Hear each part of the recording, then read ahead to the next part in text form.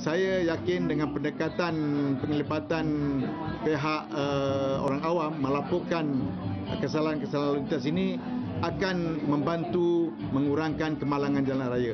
Yang penting ialah kita nak mengurangkan kemalangan jalan raya yang akan memberi uh, kerugian kepada semua pihak. Eh.